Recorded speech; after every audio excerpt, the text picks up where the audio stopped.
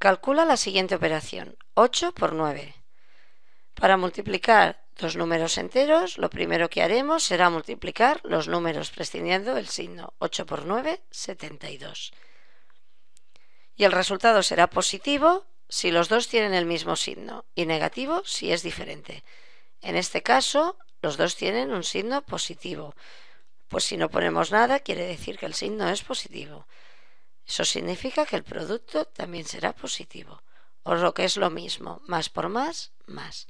El resultado es más 72.